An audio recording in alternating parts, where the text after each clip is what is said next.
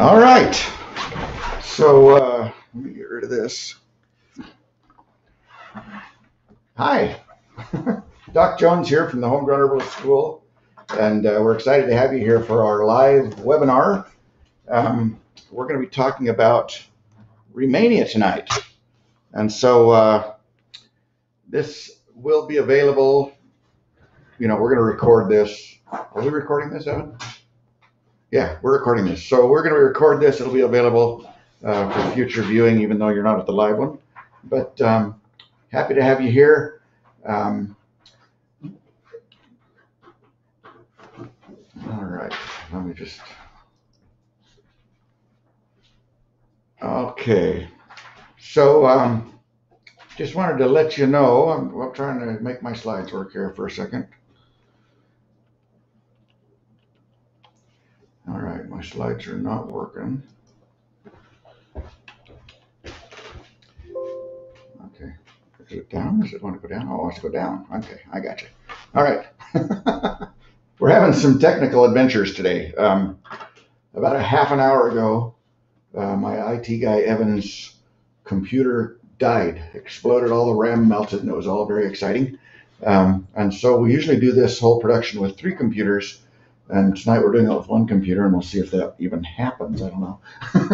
but anyway, I'm Doc Jones from the Homegrown Herbalist School of Botanical Medicine. Um, welcome all of you to the webinar. Um, just want to rec- remind you, if you hadn't heard, um, that we are right now, early January 2021, we're having a sale on the Herb School, um, $100 off. So if you'd like to participate in that, this would be a good time to do it. So, um, all right. Also, let's see. Are we? Uh, are they going to be able to ask questions, Evan? Yeah. Okay. Evan's giving me all kinds of good thumbs up tonight. All right. So we'll be. Uh, if you have questions, you can just type them in the chat box. Um, I would ask, if you don't mind, that we sort of keep it to the topic at hand. Um, one of these days we'll do a, a webinar, you know, an Ask Doc Anything webinar, and you can ask me about your dog's lumbago or whatever. But tonight, let's let's stick with the subject here, um, and uh, we'll try and address those as we go along. But uh, just uh, here's a little disclaimer you can look at. Um, this video is obviously for education and entertainment purposes only. Um, I'm not a physician. You're not my patient, and you probably shouldn't listen to anything you hear on the interweb, right? But uh, you can read that. Um, also, this material is copyrighted, so we would ask you not share it without getting permission, if you don't mind, because that would be stealing, and stealing is bad, and you don't want to be bad, right? So, okay. So we're going to talk about Rehmannia glutinosa, and this is a uh, a lesson that I just wrote here this week, last week and uh, it's pretty typical of some of the things that are in the school. So if you enjoy this, this would be sort of a good little sampler for you. If you're already in the school, this will be in the school, you know, in a couple days when I get around to it. Um, but uh, let's go ahead and get going. So Rehmannia, oh, and I am, for those that don't know, I'm Patrick Jones. I'm a veterinarian. I'm also a traditional naturopath, uh, clinical herbalist, and uh, so we use herbs all day, every day with uh, in the naturopath practice and the dog practice. And uh, you know, we we know whereof we speak as far as poking things into people and helping them feel better. And uh, so we're going to talk about Rehmannia, one of my very favorite plants. This is an amazing plant. Um, it has a lot of names. Usually in the trade, they usually call it Rehmannia. That's that's where you're going to usually see if you're buying it from somebody. Um, but they call it Chinese foxglove because it looks sort of like a foxglove. It's not in the same genus or anything. Um, the Chinese call it Di Huang or Gan Di Huang or Shang Di or Sheng Ti Huang uh, or Shu Ti Huang or Huang Ti Huang Shu. They have a lot of names for it um, that all means different things, and we'll talk about some of those. But uh, mostly we call it Rehmannia. All right. The medicinal part principally is the root. We'll talk about that in a minute too. Um, but if you buy Rehmannia, you're buying Rehmannia root. All right, that's pretty much what you're getting. It has a lot of constituents, um, and you can read those here on the slide. but uh, we, um, you know, we can look at these, and a lot of these are just foods, right? Well, not foods, but you know, vitamins and you know, essential amino acids and things like that, sugars and starches, and a lot of good stuff that's good for you. Um, but there's also some things that are really important uh, as phytochemicals medicinally, right?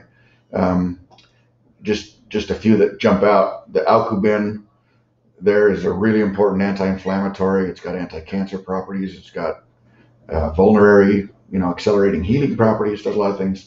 Uh, the catalpol, also an important medicinal, has a lot of. It's a monoterpene like the like the aucubin is, and so it has simple simple uh, uh, similar properties to the aucubin. Catalpol and aucubin both do. Uh, Evan just had hung me up a note to remind you that we will send you these slides. Okay, so if it's on the slides, if you want the slides, just shoot me an email. Okay, that info at homegrownherbalist.net. All right, info at homegrownherbalist.net, and we'll send you these slides so that you don't have to be writing all this stuff down. Okay, that's our our uh, attempt to save the world from unnecessary writer's cramp.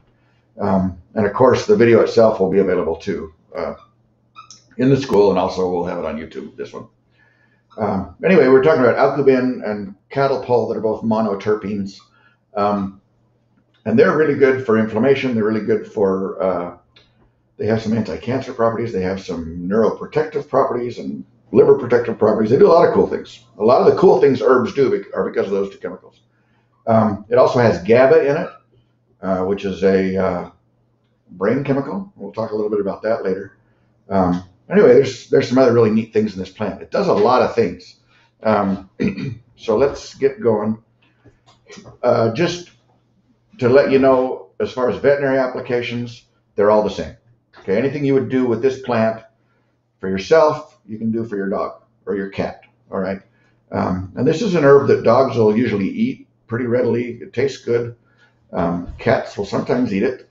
Cats are a little more finicky. But uh, anything you would do, anything we talk about today, as far as applications for this herb, you can do. You can use it on your, your dogs and cats too. Okay. Um, and it also has the same contraindications. So things you shouldn't use it for in dogs and cats. So what are those? Well, don't take it if you're pregnant. Um, although the Chinese sometimes use, it as a pregnancy tonic, but I would not recommend that. There are some reasons not to do that. Um, don't take it if you're nursing. Don't take it if you're diabetic. It can lower blood sugars, and if you're already taking uh, things to lower your blood sugars, you know you don't want to combine that with other things that lower your blood sugars, or you have trouble, right? Um, don't take it if you have liver disease, if you have GI issues. Uh, probably not to take it, although it is indicated for a few GI issues, and we'll talk about that. Um, also, if you have a surgery coming up in the next couple of weeks, don't take Rehmannia.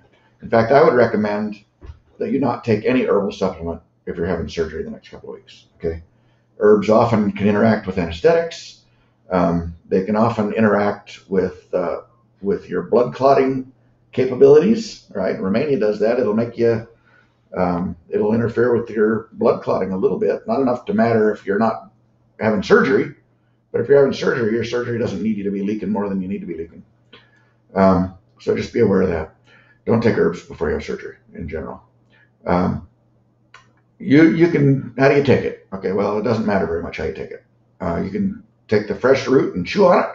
Uh, you can take the powdered herb and throw it in a smoothie. Uh, you can make a tea. Um, you can make a tincture, right? You can make a burrito. I don't care how you take it. Put it in your scrambled eggs. Um, but uh, the dose for the powder is going to be about a teaspoon or half a teaspoon, a couple times a day. Uh, for the tincture, if you've got a 40 or 50% alcohol tincture, you're going to want to take, I don't know, 20 or 30 drops of that a couple of times a day, two or three times a day. Um, Edible parts. Well, in China, they eat this plant, the root. Um, they boil it nine times before they eat it. And I don't know why they do that, but uh, probably because it gives them a bellyache if they don't. I don't know. But anyway, um, if you're eating it, you're getting more than if you're taking it medicinally, right? But uh, yeah, they boil it and throw the water away and boil it again and throw the water away. And uh, that's how they prepare it. Or maybe they just do that because it's traditional and they're very traditional people. I don't know. Um, So let's talk a little bit about it. It has sort of purplish green leaves, really a pretty plant. It looks sort of like digitalis, like foxglove, which it's not related to, closely anyway. Um, but uh, it looks sort of like that. That's why they call it Chinese foxglove.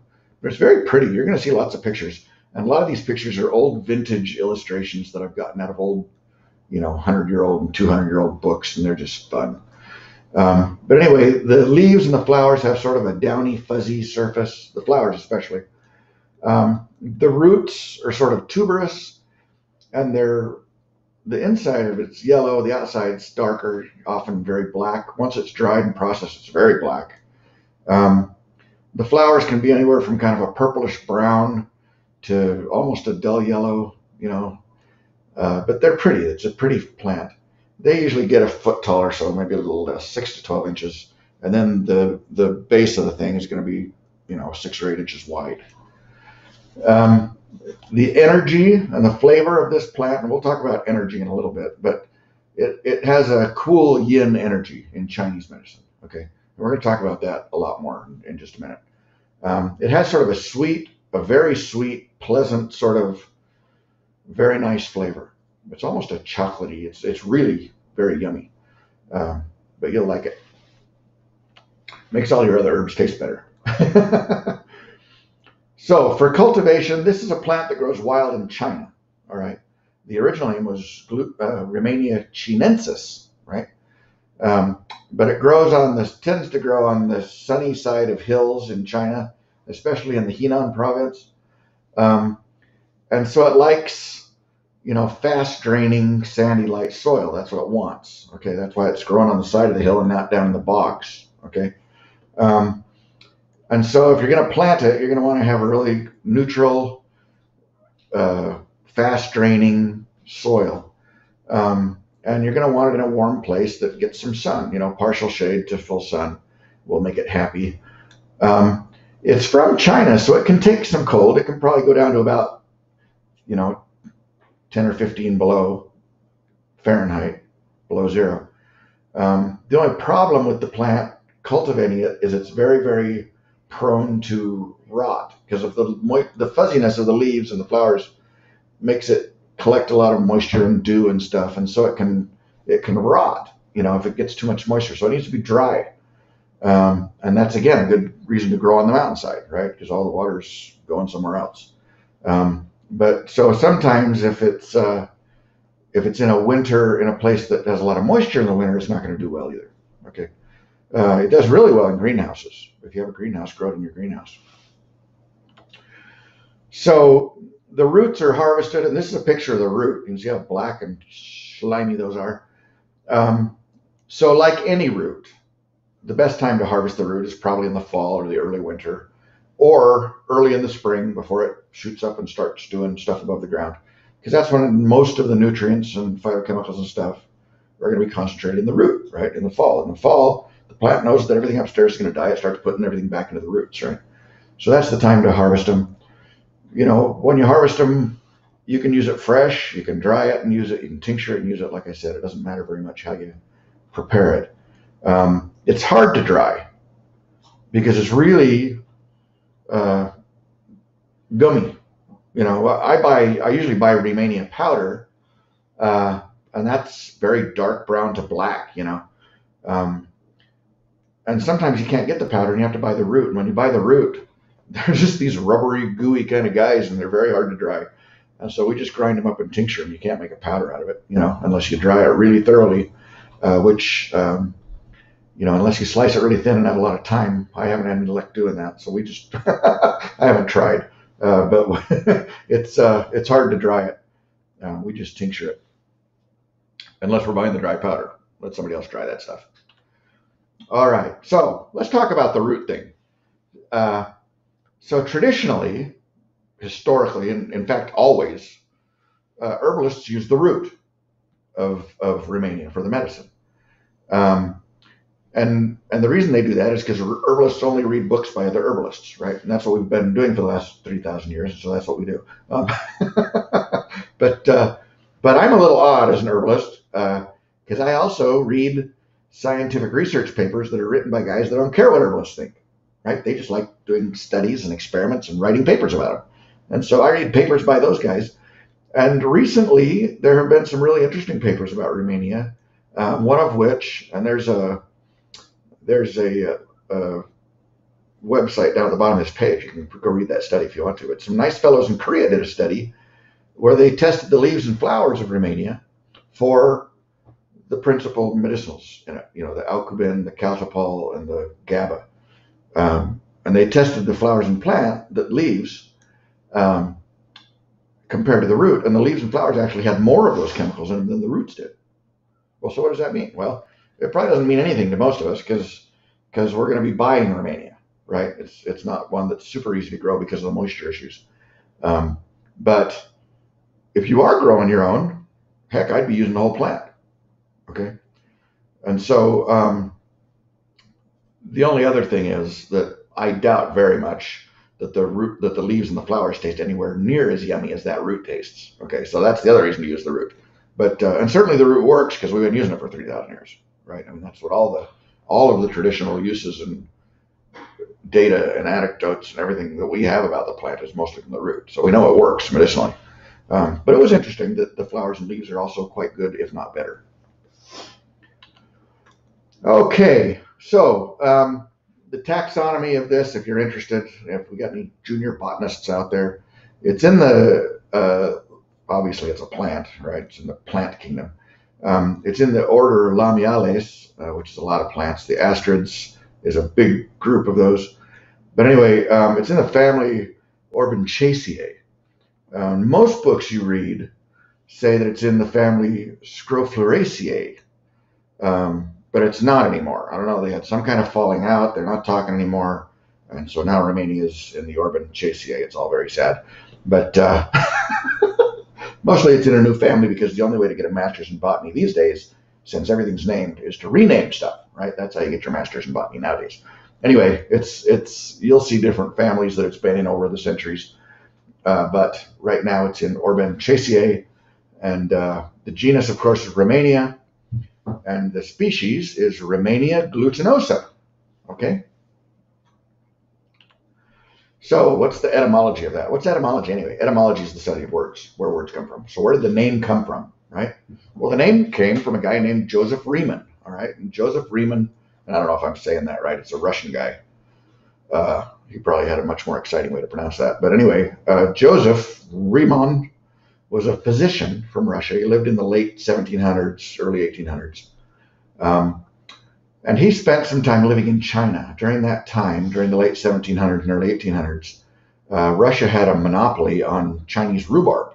And apparently they liked Chinese rhubarb in Russia. And so he was in China managing that, okay, uh, that business, that trade. And while he was there, um, he found this plant. And uh, I mean, he didn't discover it like, I mean, the Chinese guys had been using it for 2,000 years before he got there. Uh, but he found it and named it okay, in the Western system. And he called it Rehmannia chinensis, okay, which means the plant in China that Rehmann named, okay, so Rehmannia chinensis. And so uh, that seemed a little vague, you know, and so later on, other taxonomists renamed it Rehmannia glutinosa, which instead of being the plant in China that Rehmann named, now it's called the sticky plant the gooey plant that Rehmann named, which is much more clear, right? And so, yeah, botanists need to get out more, right? So, anyway, um, the Chinese name, and it has a lot of names in Chinese too. One of those is Di Huang, which means yellow earth, okay? And uh, in Chinese traditional medicine, uh, Rehmannia is associated with the earth element. We'll talk about more about this in a minute. Uh, and the color of that element is yellow, and the root is yellow. And so, you know, yellow earth is, you know, that's kind of the poster child for the earth element in Chinese uh, traditional medicine diagnosis. Um, also, they call it Shu Huang or Huang Chu or Huang Chi Chu they spell it different ways. They don't they don't spell it at all. They, they use those characters. We spell it all kinds of ways because we don't know how to spell those characters, right? Um, but anyway, Huang Shu with an S or Huang Chu with a C is the same word. And it means cooked. Okay, so it means the yellow cooked stuff. Uh, because they often do cook it uh, to, to maximize some of the properties. Some things it works better for uh, cooked and some things not cooked. Um, I, I just use it dried and it works fine for everything it's supposed to work for. So I, I haven't gotten into that uh, nuance of it. Uh, also, the name Rehmannia is also the name of a genus of prehistoric Jurassic ammonites. Uh, and uh, those are all extinct in their fossils now. And so there's no DNA evidence to do tests, but most botanists now believe that the Rehmannia plants actually are not related to the to the Jurassic uh, ammonites. So just to avoid that confusion, probably not related, even though they have the same name. okay, let's talk a little bit about Chinese medicine. Okay, because we have to, because you can't talk about Rehmannia without talking about Chinese medicine, because the Chinese have been using it for millennia, and a lot of the references to what it does correlate with that system. Okay. Um, and so I'm going to just give you sort of a crash course on Chinese traditional medicine lingo so that we can talk about this stuff. All right. So buckle up and here we go. So, first of all, in Chinese medicine, we talk about yin and yang. Unless you're in Idaho and we have yin and yang, right? But that's because we're in Idaho and we're a bunch of rednecks. But the regular Chinese people and people back east who are, uh, you know, educated and sophisticated, they say yang. Okay, so we'll say yang. Uh, uh, so yin and yang, what does that even mean, right? So yin is the Chinese word for the shady side of the hill. Okay, and yang is the Chinese word for the sunny side of the hill. All right. So yang herbs are dry, hot, external, masculine, stimulating, okay, uh, confident, they're strong, they're intense. Yin herbs are this cool side of the hill, right? The shady side. So they're cool, they're sweet, uh, they're moist, they're internal, they're female, they're nourishing, nourishing, they're nurturing, okay? And so that's yin and yang. And so in Chinese medicine, everything is about the balance of the yin and the yang, right? You've probably seen this symbol of the two tadpoles chasing each other, right? The white one is the yang and the black one is the yin.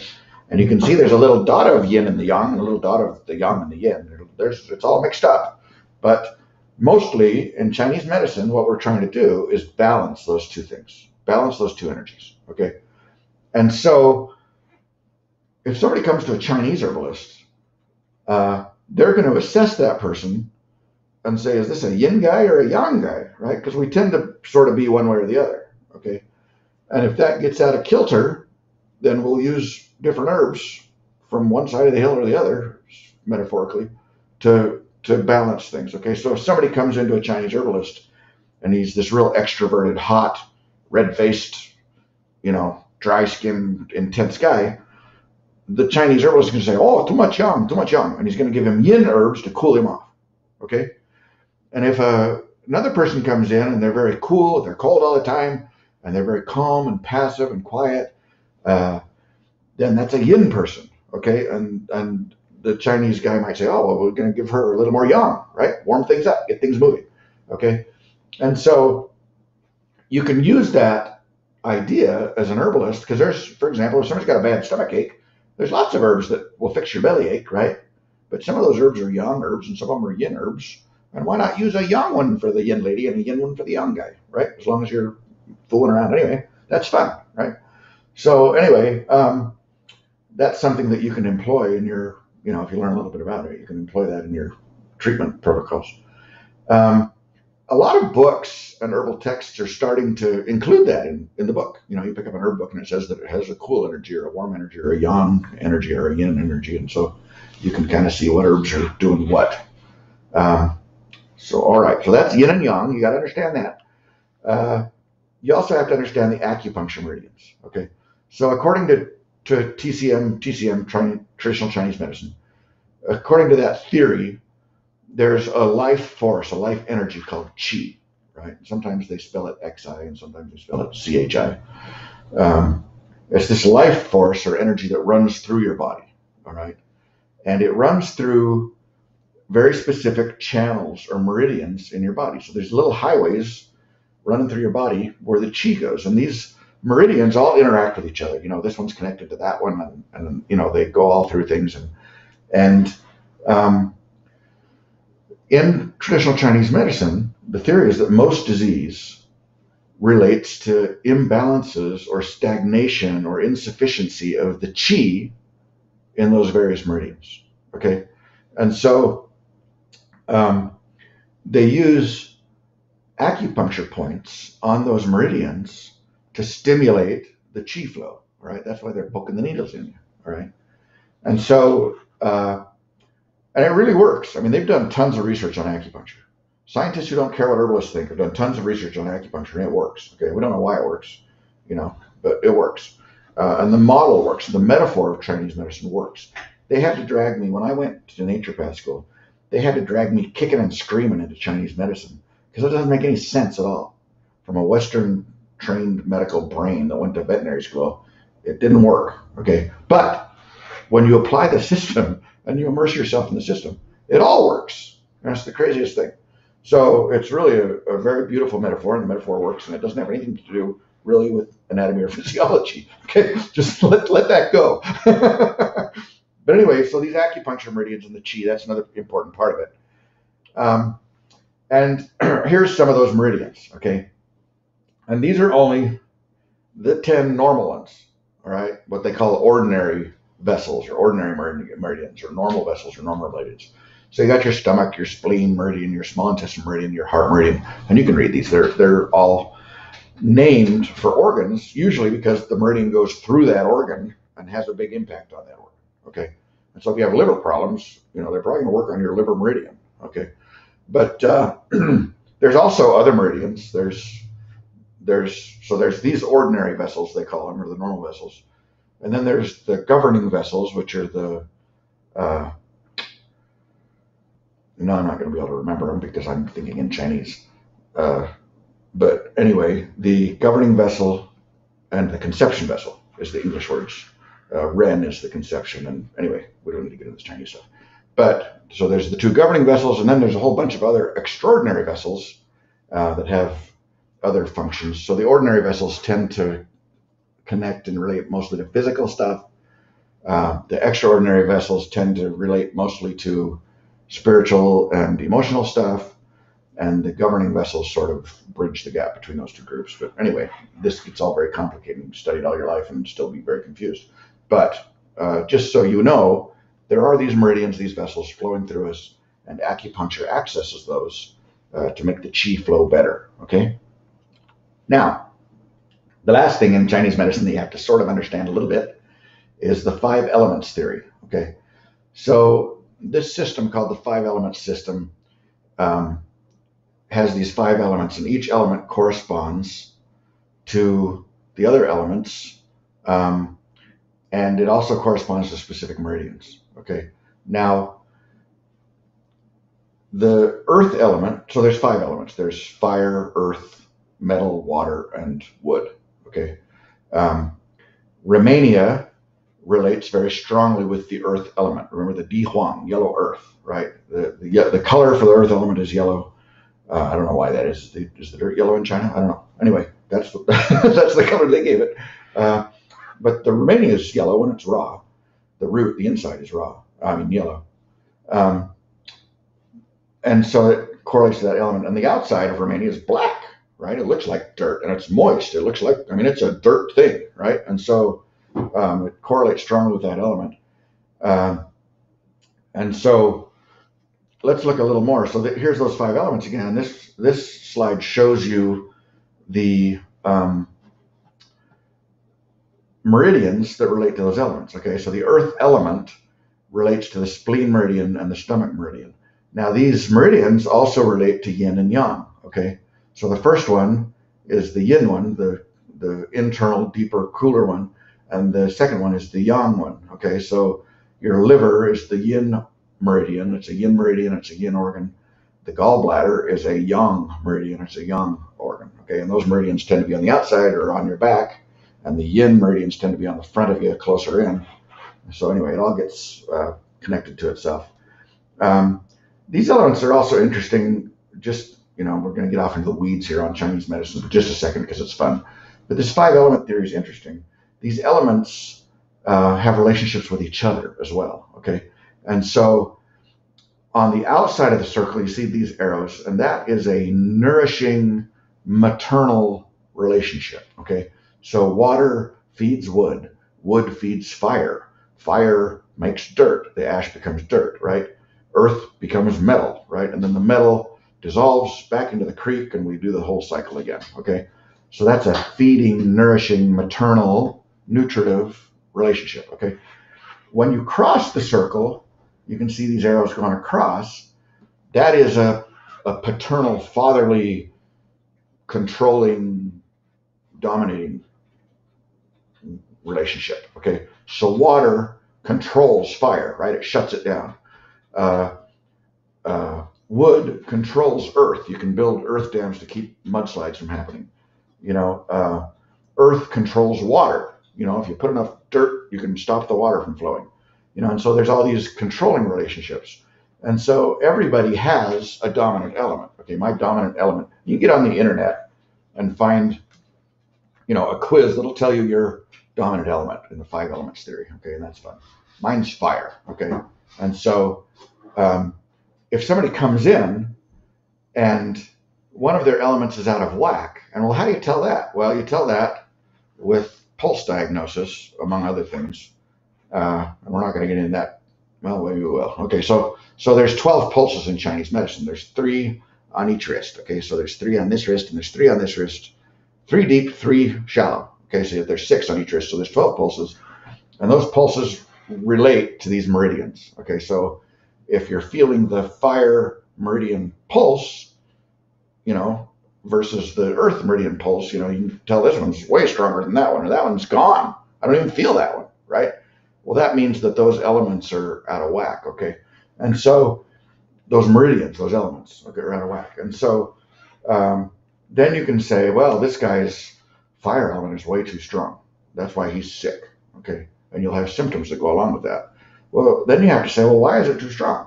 Is the fire element too strong because he has an overindulgent mother who's giving him, too, who's throwing too much wood on that fire?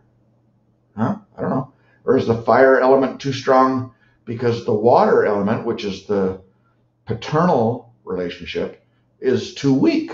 Maybe there's not enough water to settle the fire down, right? And so you have to sort of go through some gyrations to figure out who's out of whack based on those pulses. You know, who's strong, who's weak, who's overperforming, who's underperforming. And then, uh, you know, you relate to the meridians within those pulses and the next thing you know, you're doing acupuncture on the guy and making him feel better. Okay, it's all. it's a very bizarre metaphor, but I'm telling you, it works. It's really, really extraordinarily interesting. Okay, so uh, as we said, uh, Rehmannia has a strong affinity for the earth element in Chinese medicine, and so it has an affinity for the spleen meridian and the stomach meridian. Okay, and those meridians do things sometimes that don't have anything to do with stomachs and spleens. Okay, just that's just the name of the meridian.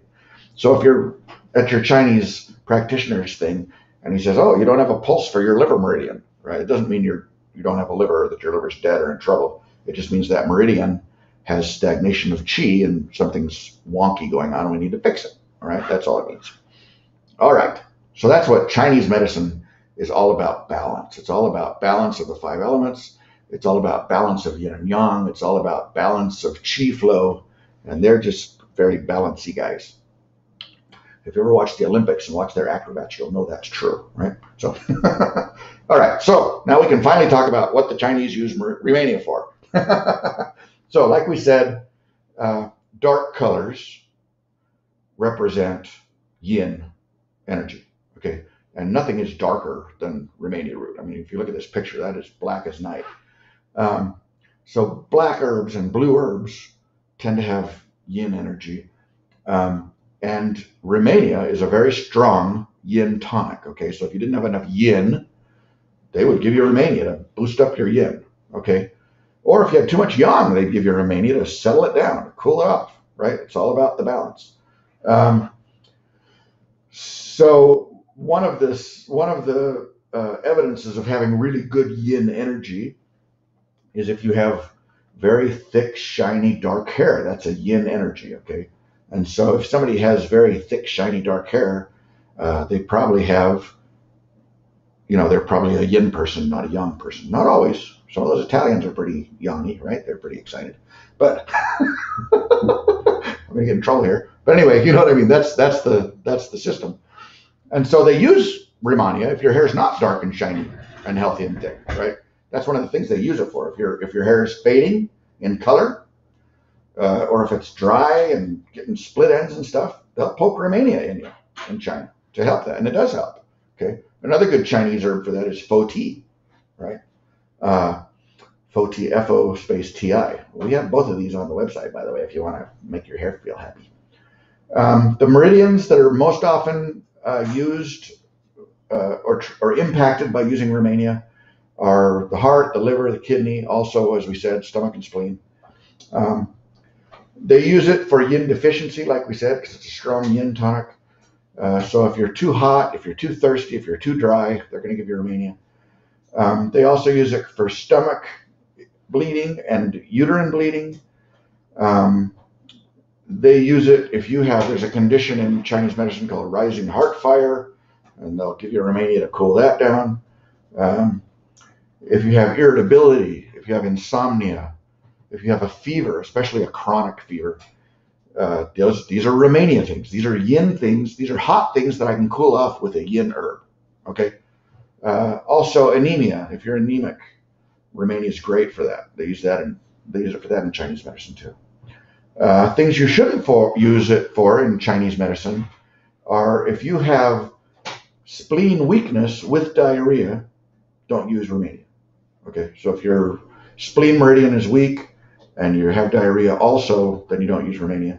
If you have a poor appetite, you don't use Rehmannia, right? Because you're already too calm, too quiet, too peaceful, right? We want to turn up your your thermostat, not turn it down, right? So poor appetite would be an indication of too much yin, right? I don't feel like eating. I'm, I'm you know, I'm not, I'm low energy. I don't want to do that. See, that's a yin problem. You got too much, so you don't get more of that. Uh, if you have too much phlegm, that's a yin thing, right? Because that's moisture. That's that's excessive moisture. We want to dry that up. So if you have too much phlegm, you don't give them Rehmannia. Uh, also, they usually don't give it during pregnancy, although sometimes they do as a tonic. And, and I don't know, I don't, I wouldn't. Okay, I think there's reasons not to. But some Chinese guys think it's good for you in pregnancy. Some Chinese guys think it's not. Uh, if anybody ever thinks something's not, I'm with that guy. Okay, let's not take a chance. Okay, so let's talk about Western herbalism and how we use Rehmannia as Western herbalists. Okay, and uh, Western herbalism is a lot simpler affair than traditional Chinese medicine. Okay, it takes more of an allopathic approach. So, you know, this herb's good for this thing. You know, this herb's good for sore throats. This herb's good for fevers, right? And uh, they tend to categorize plants by their actions, uh, and it's way less complicated than all the qi and yin and yang and all that stuff. Um, ideally, a Western herbalist understands some anatomy and some physiology and some pathology. He knows what the body is doing, and he understands some plant chemistry, so he knows what the plant's doing, and he can put that all together. Right? That's I- ideal. Uh, unfortunately, there's a lot of Western herbalists, and there's a lot of Western herbalist education programs that just basically give you lists of plants and what they do, and you just remember a bazillion things, and that's no good, right? That's not, that's not the way to do it. Don't do it that way. Um, it's better to understand what is the plant doing and why, what is the body trying to do and why, and how can we marry those two things and get some good outcomes. That's that's how Western herbalism ought to be done. Okay, and so uh, just coincidentally, we happen to have a school of botanical medicine at Homegrown Herbalist. if you're not enrolled already, that'd be fun for you, right? And we'll teach you all that stuff on on really what the body's doing and what the bugs are doing and what the disease processes are doing and what the plants are doing. uh, versus just you know throwing lists at you and making you remember a lot of stuff. So swing by homegrownherbalist.net. Remember, right now, uh, end of early January 2021, uh, the school's on sale. So go jump into that. That'd be good. Okay, so let's talk about Rehmannia in the Western system and how we use it as Western herbalists. Okay, so first of all, let's talk about the immune system. Okay, all right. So Rehmannia has some really important immune modulating functions. It, it helps the immune system work properly in a lot of in a lot of situations, um, and that can be really important. We'll talk more about this in a minute. Uh, for calming the immune system, for correcting imbalances and, and errors in the immune system. You know, if you have autoimmune disease, that's a problem, right? And and Rehmannia can help fix that. Um, we'll, like I said, we'll talk about that more in a minute. But Rehmannia can also make the immune system more efficient at not getting sick, uh, protecting your body from getting sick. It has some polysaccharides and stuff in it that can really help increase resistance to infections. All right, so that's good.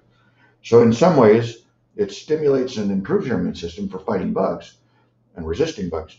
But in other ways, it calms and cools and settles your immune system so it doesn't do dumb, crazy stuff it wasn't supposed to do. All right.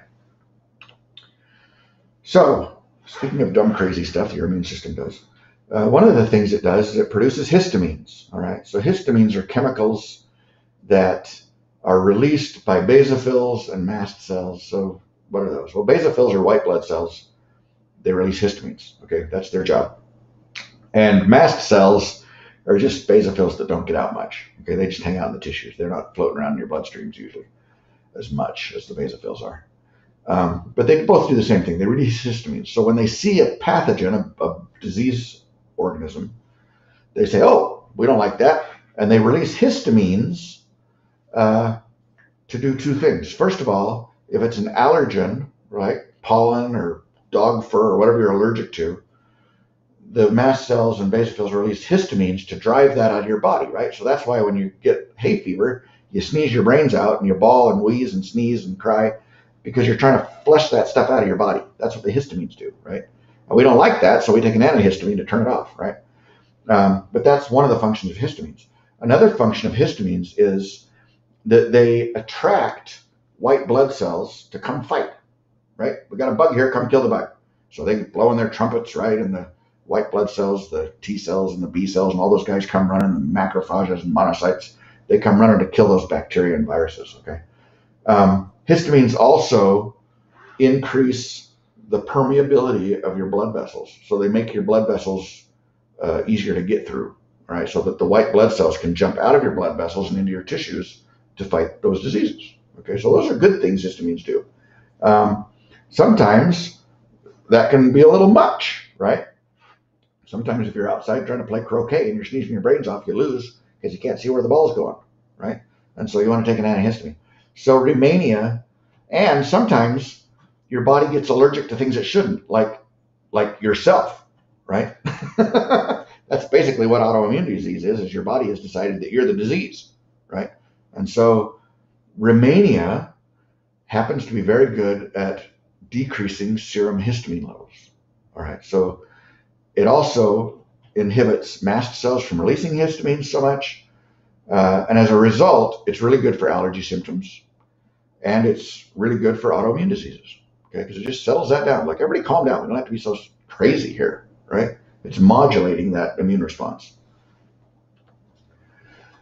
Um, so let's talk about inflammation. Very similar. Okay, so in, in addition to decreasing the histamine levels, which decreases inflammation, right? Because when all those cells come running to fight whatever it is, you get inflammation, and that hurts. Okay, so decreasing histamines is good, but it also uh, Rehmannia stimulates the release of glucocorticoids hormones from your adrenal glands, which also are anti-inflammatory. You know, they give you prednisone and dexamethasone. Well, the reason they give you that is because it's like the most amazing anti-inflammatory in the world, right? Well, why does our body like that? Well, our body likes that because our body likes cortisol, right? Cortisone, cortisol, right? So cortisol is a hormone your adrenal glands release to decrease inflammation. Okay, and so the prednisone and the cortisone and all those corticosteroid drugs are just mimicking and imitating cortisol, which your body produces naturally to quit hurting all the time. Okay. And so Rehmannia stimulates that. Uh, it decreases histamines. It stimulates release of cortisol. Uh, and it gives your body raw materials to make more cortisol. That's nice too, right? So it's not just yelling at the adrenals to make more, it's giving it the raw materials to do it too.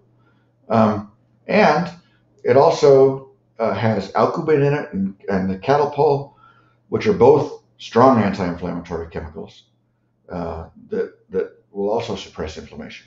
Okay, so I've used it, Rehmannia, for inflammatory stuff. I've used it for allergies. I've used it for like dermatitis, uh, but mostly I like I like using it for autoimmune cases. You know, lupus, rheumatoid arthritis, uh, fibromyalgia, all those chronic inflammatory. My body's just mad at itself, right? Uh, and Rehmannia really helps that. Rehmannia is really, really quite good for a lot of those cases. All right, so we're talking about adrenal glands. Let's talk about adrenal glands a little bit more. It supports the adrenal glands. It feeds the adrenal glands. It gives them the raw materials they need.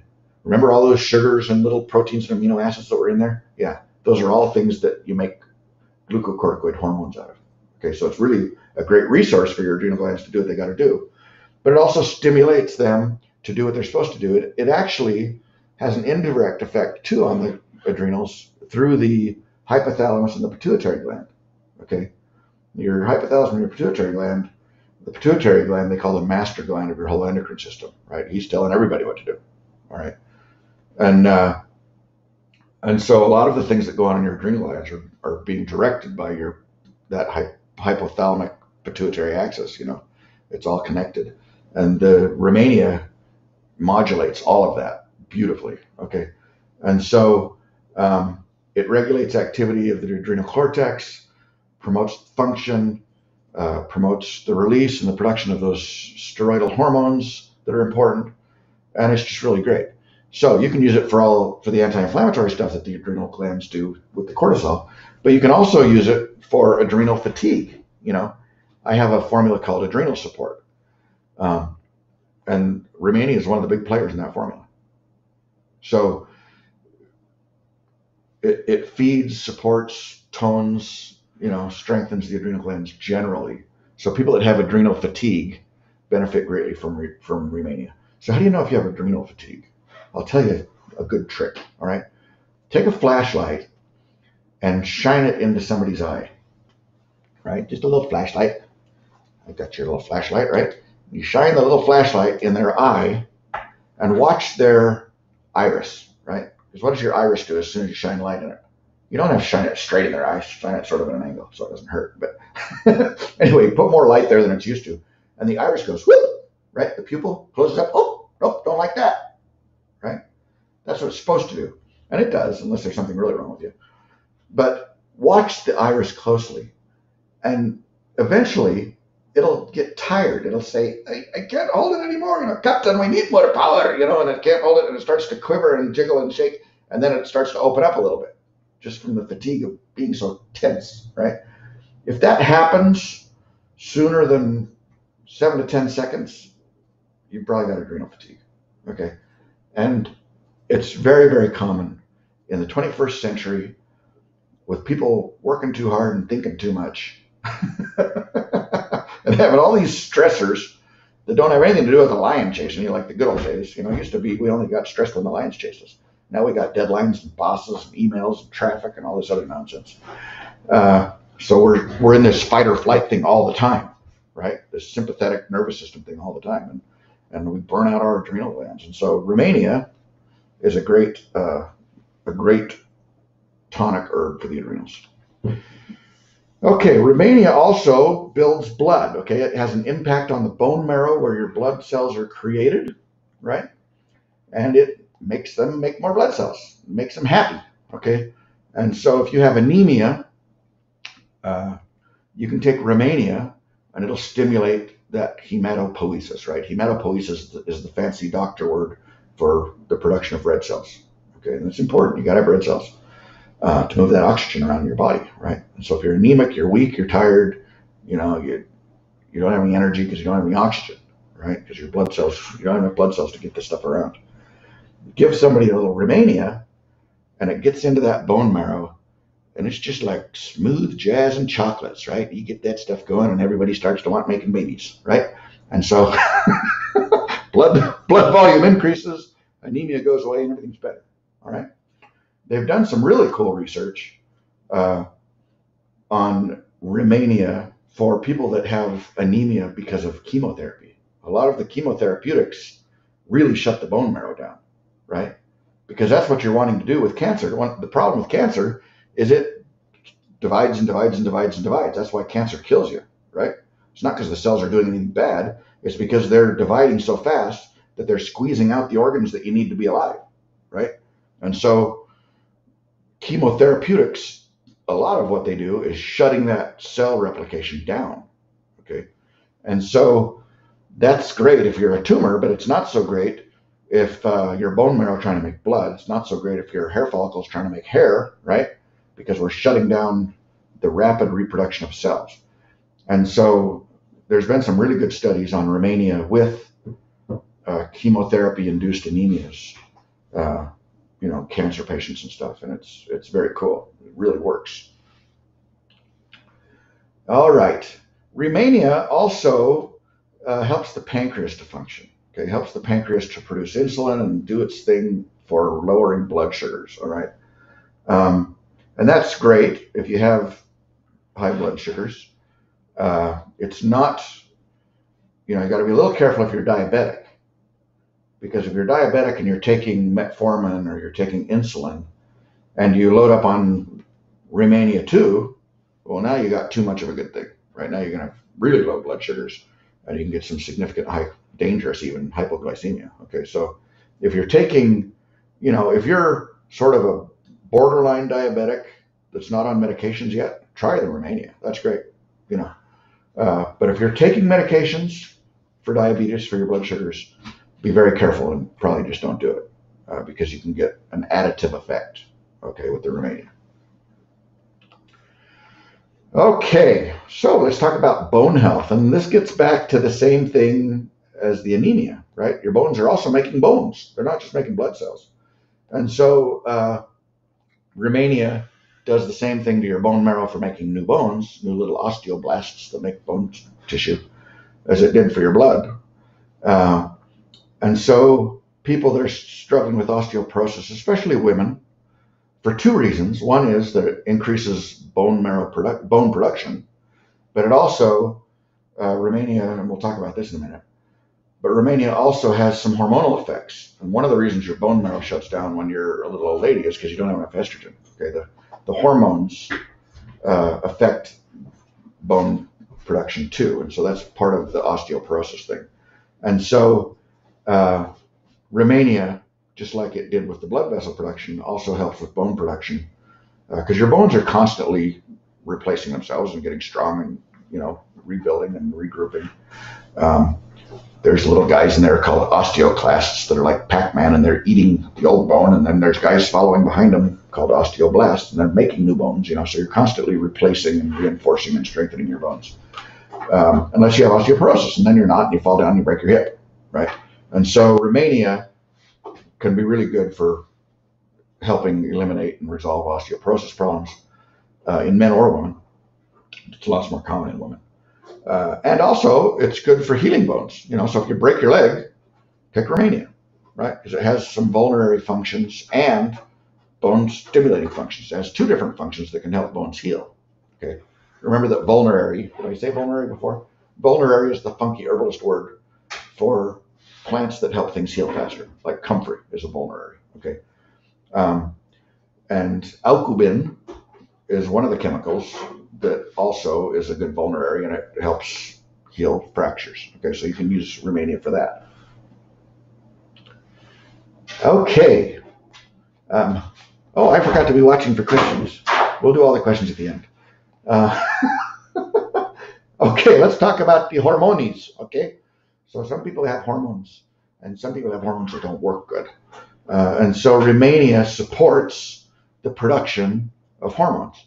Uh, and it does that for everybody. But for women, it's going to support and regulate and modulate you know, estrogen and progesterone and progestin and all those hormone levels so that women's hormones are normal and good. Okay. And so that can help, uh, like we said, with the osteoporosis, because that's largely hormonal in, in little old ladies. Um, but it can also help with the other symptoms of menopause, you know, the hot flashes and the mood swings and all the things that menopausal, postmenopausal ladies suffer with.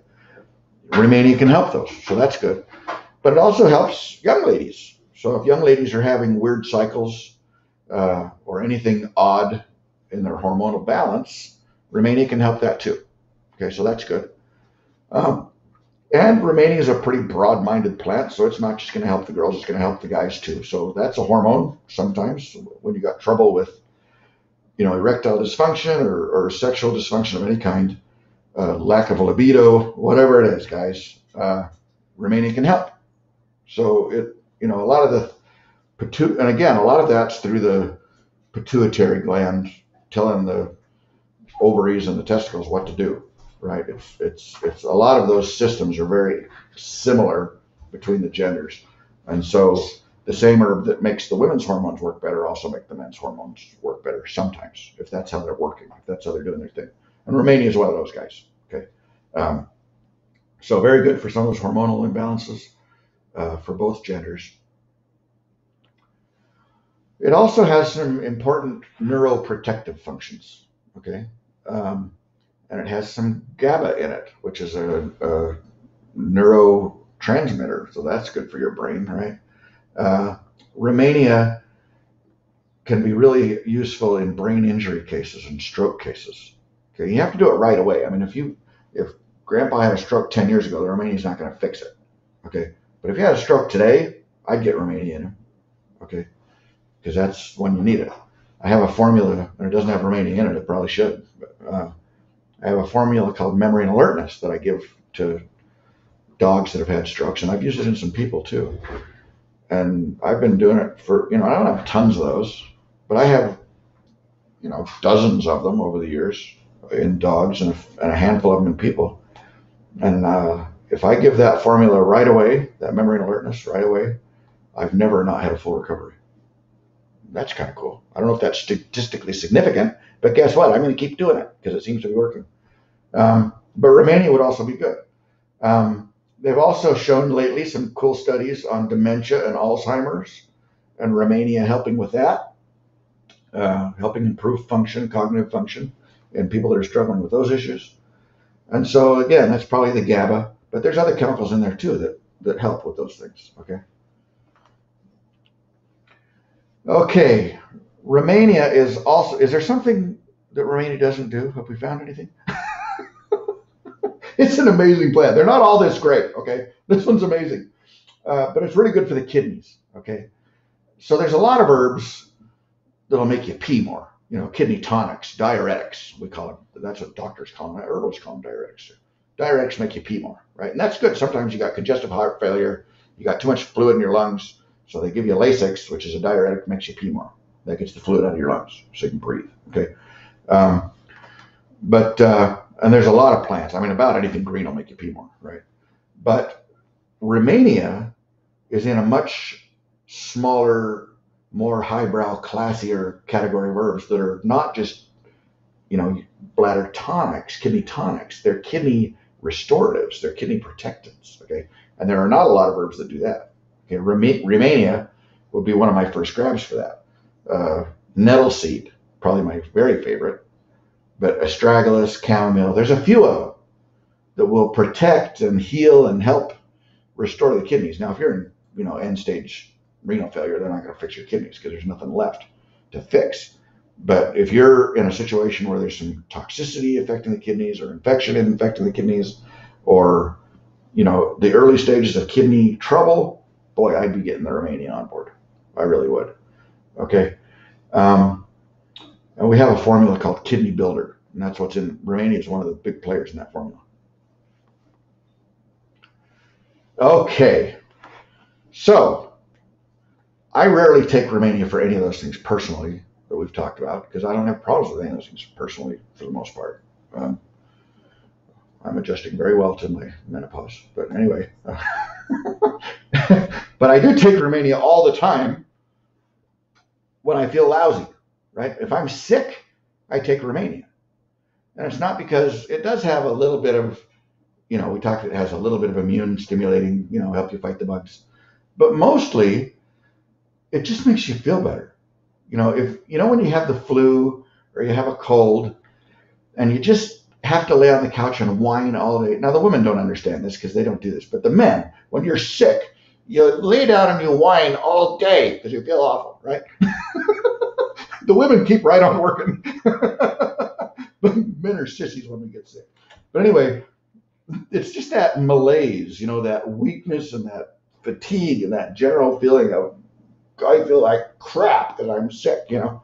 Rehmannia fixes that.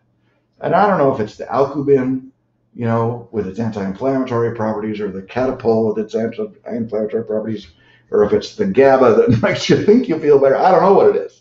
I don't know what's causing that. But I know for a fact that when I take Rehmannia and I'm sick, I feel pretty good.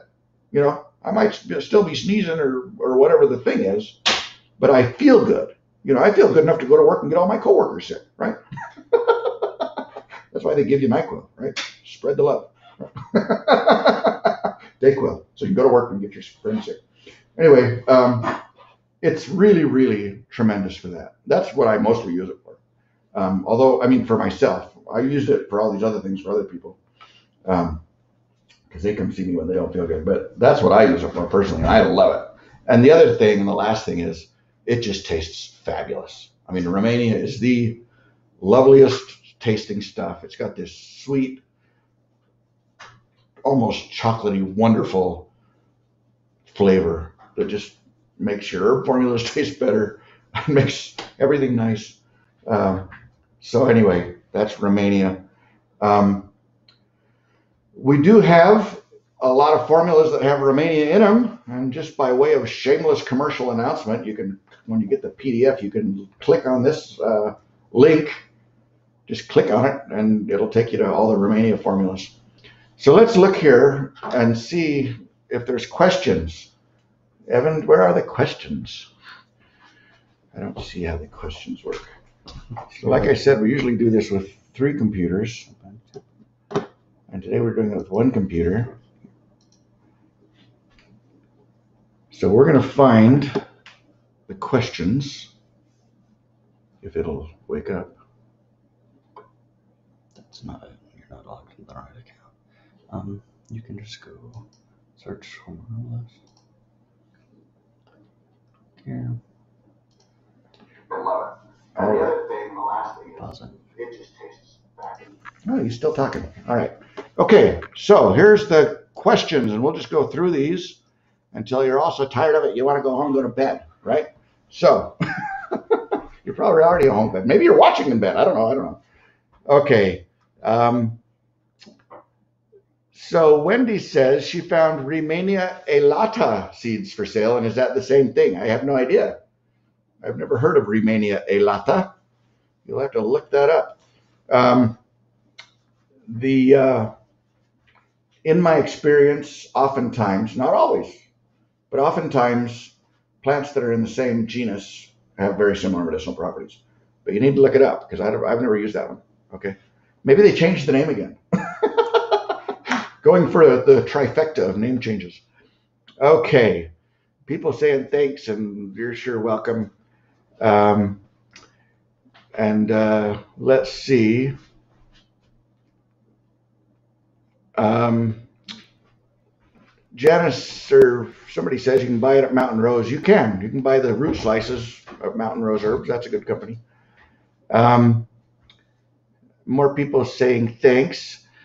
Uh, ITCS Mount says, What's the Rehmannia tea recipe? Well, I just make it. I just throw it in some hot water and make the tea a teaspoon or so per cup. Um, Reverend Calderon says he's looking forward to it. How are you, Ryan? Hope things are going good back there in Carolina. Um, somebody asked if it's being recorded. It is, and you don't have to take notes because you're getting the PDF. I'm sorry if you didn't know that already, because uh, now you have writer's cramp. we have a good herb for that. Take some Rehmannia. All right. Um, Chandra says, can you grow it in pots? Yeah, you could probably grow it in pots. You certainly could. We grow it in greenhouses all over the world, and that's a good way to do it. More nice people saying thanks, and you're sure welcome, and thank you for coming. Um, okay. Anne says she sees an amazing acupuncturist every week. And you know what? Acupuncture really is fantastic. I do acupuncture. So I have a piece of paper on my wall that says I can poke needles in your dog, right? So I can use needle acupuncture on dogs. But on people, I do it with tuning forks, which is really interesting. And I actually much prefer that. And I don't I don't know when the last time I was I stuck a needle in a dog for acupuncture because I usually use the forks on them too now because they work differently and I think better. When you stick a needle in a point, that's what you got, right? That's the stimulation you got. But when you um, use a tuning fork, different frequencies have very different impacts on the point. It, it's really interesting. That's a whole nother lecture and a whole nother day. But uh, yeah, acupuncture is great. I did have needle acupuncture once from a nice Chinese man. I was on a cruise. I took the first vacation of my life with my wife because uh, I had hired a new veterinarian and I realized I could leave town. And so we got on a boat and we went away for a week. And there was an acupuncturist on the boat lecturing, and I couldn't understand a word he said during the lecture, you know, but he had slides and he was fun and he seemed like a great guy. And he kept saying, no pain, no pain, no pain. And I thought, you know, I ought to go get some acupuncture just for fun because I'm always telling people to get it. If they can't come see me, they, I tell them, go find a local acupuncturist and he'll stick needles in you. But I'd never had the needles stuck in me. You know, I always use the tuning forks. And so, uh, so I went and got some acupuncture from this guy. He says, well, what do you want to do? And I says, uh, I think that's what he said. It sounded like that's what he's trying to say. Anyway, I said that I have this, uh, this allergy fit I have every morning of my life for about 10 minutes where I just gag and choke and think I'm going to die. And then it goes away and I'm fine all day.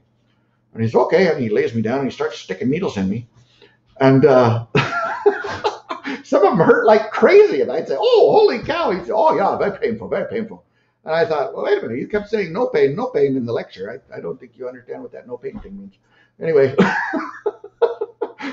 anyway, he did the acupuncture on me, one treatment, and I didn't have that allergic reaction for six months. And I'd had it every day for as long as I could remember. It was amazing. So acupuncture works. It's really great. Um, I'm starting to have them again. I need to have my wife do it to me with the tuning forks on those points. I got all the points written now. Okay, anyway, acupuncture is cool. Um, Diane and Paul in Orlando say hi. Hi, guys. Uh, more nice people saying thank you. Um, let's see. Yeah, Path to the Future says it's super dark. It really is. It's like black, the root. Um, Lisa says it's interesting. I'm glad. Let's see. Um, okay, so the dosage for acupuncture, Path to the Future asks, the dosage for most herbs, for the dry herb, is going to be about a teaspoon. Okay, more or less. I mean, if it's around a teaspoon, I don't ever measure. I just get a teaspoon and get it some, right? Teaspoon or so, two or three times a day. That's the dose of the powder, the dry powder. And then, you know, I don't care how you take that. You can put it in some juice. You can make a tea out of it, right? Uh, if it's the tincture, I'd say 30 drops or so, 20 or 30 drops. And I'm going to do that two or three times a day, okay? All right. Um, uh, the king's daughter says, "What might rising heart fire be in our language? It, is it heartburn?" Uh, no, that that would make too much sense. Okay, rising heart fire is a whole five elements chi thing, and we're not going to be able to get into that here. They have all kinds of things. They have uh, uh, chasing pig syndrome in in Chinese medicine. So if the chi in your body is, you know, that's another problem. You can have chasing pigs you know, you can have uh, fire in your kidneys and snowballs in your spleen, and it's all very confusing. But the metaphor works. It's it's very beautiful and workable, but it's bizarre. So, okay. Wendy says I'm enrolled in the homegrown herbalist course and loving it so much. So much information. Wendy, I'm so glad you're having fun. I'm glad you're liking it. Um, Path to the Future says I think autoimmune is a phony term that is misleading. I believe there's a pathogen that has entered, which has triggered and continues to cause the same reactions. I don't believe your body is just harming itself for no reason. No, you're absolutely right. You're absolutely right. Uh, path to the future. But here's what happens. Sometimes it is a pathogen, like people get Epstein Barr virus, right? Which is mono, mono, mononucleosis, the kissing disease. It's a herpes virus, and you have it forever. Herpes is the gift that keeps on giving, right? And so, uh, you know, that's how you get chickenpox when you're a little kid, and then when you're a little old man, you get shingles from the same virus because it didn't go anywhere, right? And so you're right. It, it can be a pathogen that stimulates this chronic, miserable inflammation. And the problem is that you get the chronic inflammation, you get the pain. That does happen. But something else that happens that truly is an autoimmune thing is that, for example, with leaky gut, right, you can have, and there's a blog article, go to homegrownherbalist.net and read the article about leaky gut on the blog. But leaky gut is when you get See, nothing should be able to get through your gut unless it's going through a cell, through a receptor on that cell. So your cells that line your gut have little receptors for sugars and starches and fats and proteins and vitamins and things they like, right? And the receptors grab those things, pull them inside the cell, and then them shoot them out into your circulatory system on the other side. That's normal, okay? When you get leaky gut from stress or pharmaceuticals or illness or whatever, you get interruptions in the gut lining. And so now stuff is getting between your cells and into your tissues where it doesn't belong. Okay. And so your body says, Holy cow, what is that? What's gluten? What's a strawberry? I've never seen a strawberry before. All I've ever seen is, you know, vitamins and sugars, right? Because the cells are supposed to break them down. And so your body sees these foreign substances and it makes antibodies to them, right? And and the longer that progresses, the more antibodies your body makes to more things. And the bad news is that your body is made out of fats and proteins and carbohydrates too. See? And so at some point your body says, "Oh, holy cow, we'll just we'll just attack everything." Right? And that is an autoimmune situation. It's not just because of a disease. Um, and the same thing can happen with chronic inflammation of any kind. If you get enough chronicity to that, your body eventually just says, "Oh, forget it. Let's just let's just attack stuff." You know, it's like uh, it's like you know soldiers that are sitting at the next to the wall next to North Korea, and the North Koreans keep throwing grenades over the wall. Well, those soldiers are on high alert. I mean, if they hear a twig snap, they're going to shoot, right? And so, what we need to do is get those soldiers drunk on an island somewhere, right? Let's get those guys to unwind and relax so they quit shooting at everything. Um, and that's what Rehmannia does. It calms things down, it settles things down. Come on, guys, let's relax. Let's go let's go get a sandwich. We don't have to shoot things. Okay. And so it, it helps those autoimmune conditions. So you're partly right that sometimes it's not, you know, your body, it's not that your body just wakes up one morning and hates itself. It's that your body wakes up every morning fighting these viruses or these deep fungal infections or these leaky gut issues. And eventually it does get allergic to you. It does get mad at you and make antibodies against you. And, and so it is autoimmune. But you're right that it's not always, it's not like something voluntary that your body does just to be rude. Okay. So Joey Oaks wants to know if it's good for itchy dogs. Sure, you can use it on itchy dogs. Melvin says, well done. Thanks, Melvin. Thanks for listening. Um, would it be something that could help with uterine fibroids? Uterine fibroids are caused, well, they're not caused by, it, but they're responsive to hormone levels. Uh, so if you, so in that respect, it might help. But if you if your fibroids are being exacerbated by hormonal imbalances, yeah, it would help. Um, but once you have them, I mean, it's not going to prevent them from happening or cure them or make them go away. But if they are responsive, fibroids are responsive to uterine to hormone imbalances. For those that don't know, fibroids are big lumps of tissue you get in your uterus wall. Okay, and they can be a real problem. Uh, but yeah, if the fibroids in in the in the sense that they can be aggravated by hormone imbalances, yes, Rehmannia can help. Okay. Um, and here, Path to the Future is smart. She says, try some chaste tree and Dong Quai. That would likely be better, okay, because that's going to help the suppress the estrogen, increase the progesterone, and that'll make your fibroids happier too. Okay. Very good. Uh, Jenny Jenkins says the school is wonderful. Thank you, Jenny. By the way, everybody who's in the school is watching this thing for free too. And when we do paid ones, they're watching those for free too. So there's reason to be in the school. And they'll have access to this on the school also as soon as I, it takes a couple of days for YouTube to process the live videos and make them real things, and then and then they'll be available. Um, Lisa says thank you. Um, Paula says, will it work for myelodysplasia syndrome? Um, I don't know. It might work for some of the inflammatory aspects of that. It would certainly be worth a try. Uh, Nicole says, are the slides going to be available without the video for the students? Yeah, yeah, and to everybody else too. Just, just uh, um, send me an email. If you want the slides, send an email to info at homegrownherbalist.net and we will send you the slides, okay? Because we're nice. And if you signed up for this, we'll send them to you anyway. We already know who you are, right? So don't worry about it. And I know my picture's covering some of the words. I'm sorry. Like I said, we usually have three computers doing this, uh, but Evan's computer melted down half an hour before the show, and we were all scrambling, ripping RAM out of other computers and trying to get them gobbled together. So usually he's cleverly moving my face and doing important things, but he couldn't do that because I was using the computer. All right. Uh, Kathy wants to know if you can tincture dried Rehmannia. Absolutely. That's what I always do. Unless I have the fresh stuff. I've done that too, but I'm usually using dry stuff. Um, my my beloved Mary says fell on the ice about a month ago and got a concussion and was in the ICU for a brain bleed. Would this help? Uh, no, I would not use this for that because it actually can increase bleeding a little bit. I would probably use yarrow and shepherd's purse for that. Maybe some bugleweed. Um, we have a, a uh, formula on the website called bleeding that's very good for that kind of stuff. Okay. Nancy says she missed the beginning when she'll see me later. We'll see you later. Kathy says, can we grow it? Yep, we talked about that earlier on. You can grow it.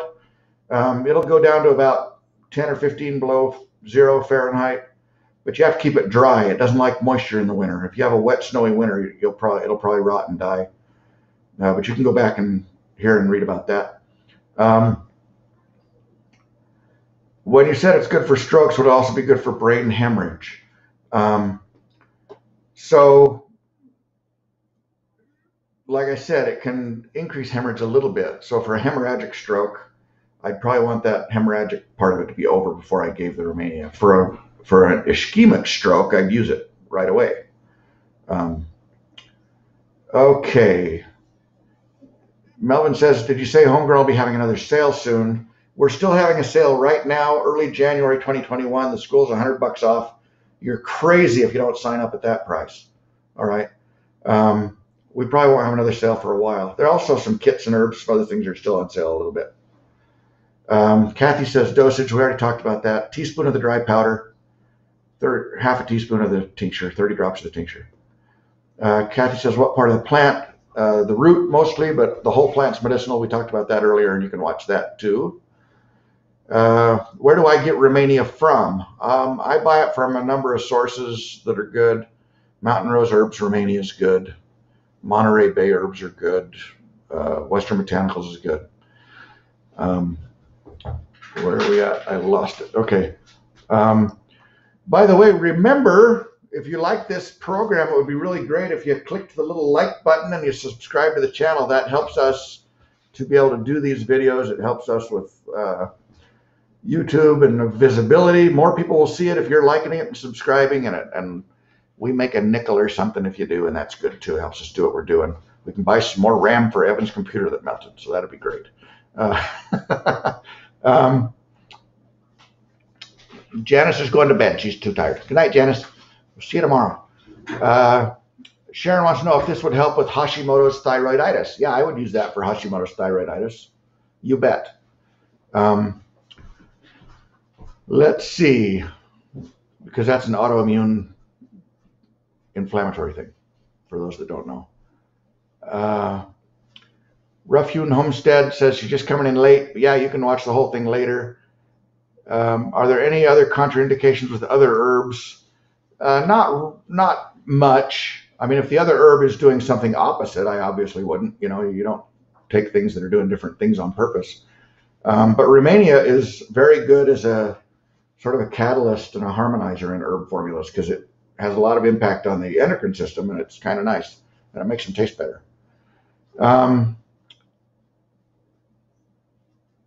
Carmen says, I have thyroid problems and weak bones. Can't gain any weight. Is Rehmannia good for me? Um, well, it'll help your bones. It sounds like you might have a, an excess thyroid problem. Um, and Rehmannia won't suppress the thyroid. If you're not gaining weight, if you can't gain weight and have thyroid problems, I would assume that's because you have too much thyroid.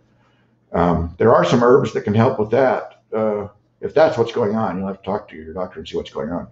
But if you have too much thyroid, motherwort can help that, bugleweed can help that, lemon balm can help that. There's some herbs that suppress thyroid function a little bit. Um, Faye wants to know if it grows as a green or if we're using the root. You're mostly going to use the root. That's what's available. If you're growing your own, you can use the whole plant. We talked about that earlier in the presentation. The whole plant's medicinal, but the root is almost always what you're buying. Lori says, thanks. You're welcome, Lori. Um, Naturally Yours says, glad to hear you say you use tuning forks. I love and use them. Amazing what they can do. Yeah, it's they're amazing. The tuning forks for acupuncture are the bomb. Uh, Pam says, thanks. Um, can you take it daily or should you stop for periods of time? That's a good question about any herb. So my advice on that would be if you're taking any herb long term, and Rehmannia is safe to take long term. It's not like you have to worry about it. Um, but if you're taking anything long term, I would recommend taking a day off every week or two, no matter what the herb is, to just give your body kind of a break. And then, you know, like don't take it on Sundays or every other Sunday. And that gives your body a break to kind of, and it, then it'll work better Monday morning, you know. Okay. Um, do you have any suggestions for resources about Chinese medicine for beginners? Um, well, I don't know. I learned it all in naturopath school. For beginners, um, I don't know. I mean, I guess there's plenty of internet resources. Uh, I don't know of a good, super good. There's a good book called The Web That Has No Weaver that kind of explains the whole thing. That's fun. Um, and Michael Tierra wrote a good book called The Way of Chinese Herbs. That's good. That's a good resource. Read that one. Um, how does Epstein Barr show up later in life? I had mono when I was seven. Yeah, everybody did. I mean, it's a very common virus. A lot of times it shows up as, a lot of times it doesn't show up at all, you know, and you still test positive for it. But a lot of times it shows up as chronic fatigue and fibromyalgia and, and other things like that. So that's the bad way it shows up. Um, Rough Haven says, Rough Hewn Homestead says, how, oh, we already did that. Um,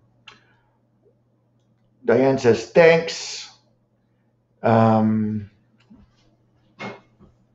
it sounds like, Sherry says, it sounds like it good, might be good for COVID long haulers. What do you think? Yeah, you bet, because it suppresses histamines. It probably suppresses cytokines a little bit.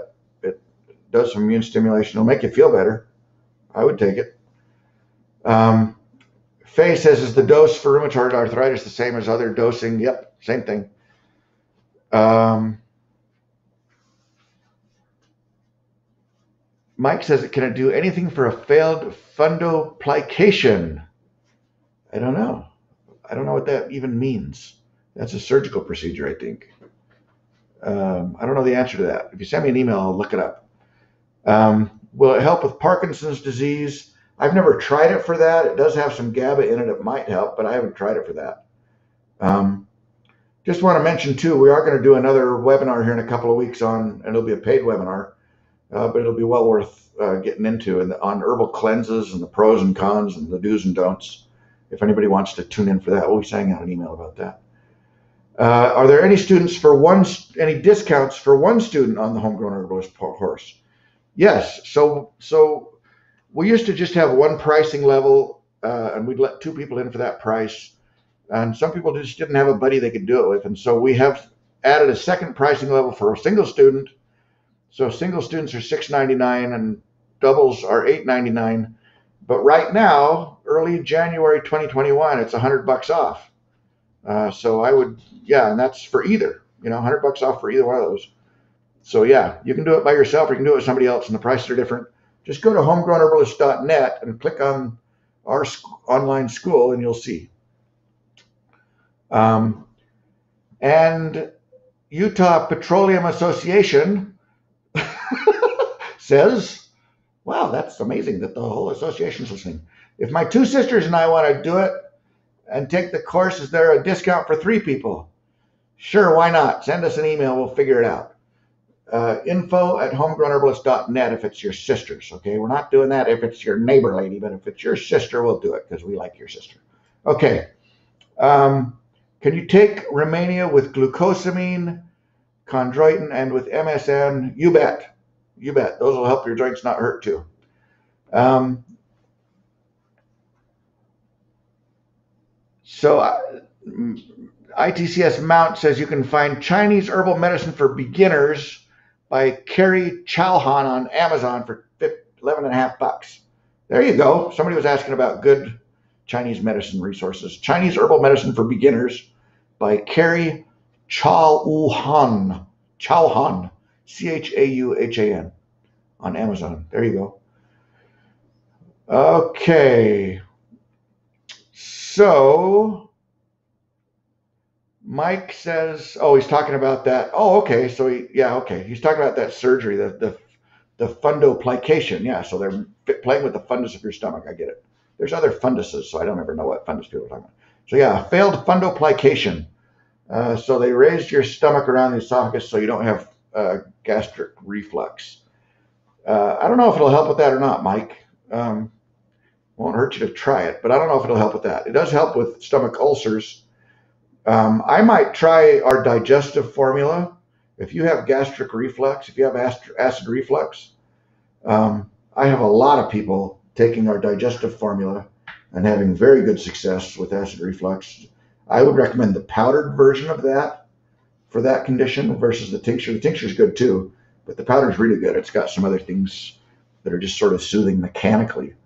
But I've had some people that have serious acid reflux and regurgitation that that stomach, I mean that uh, digestive formula, it's called digestive support, uh, works really well. So Anne says, considering TCM, which is traditional Chinese medicine, what if a person has a strong voice and is energetic, but is often also cold, especially in the extremities? Uh, should or shouldn't take Rehmannia? I'd take it uh, for your menopause. I would take it. Um, the voice has less to do with it than the cold. I, am I'm, I'm looking at the cold and saying you're probably more yinny. But yeah, I, I don't think it matters. I, I think, uh, you know, the Chinese medicine stuff is great, but the Romanian is not going to hurt you, you know, if, if you're just because you're cold sometimes. Um, if you're a yin person, you can still take Rehmannia.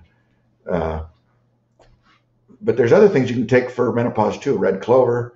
There's a lot of things you can take for menopause symptoms. We have a formula called female menopause, not to be confused with male menopause, which is also a thing, but we don't have a formula for it.